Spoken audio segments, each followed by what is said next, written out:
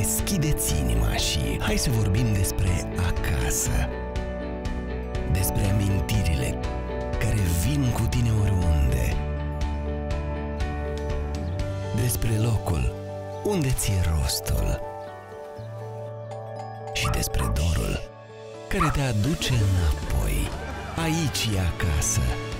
În inimile care simt la fel ca tine. Inimi optimiste. Inimi curajoase și pline de încredere.